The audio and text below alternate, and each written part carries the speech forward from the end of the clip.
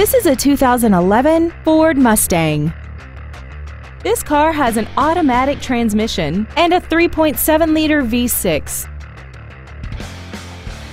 All of the following features are included.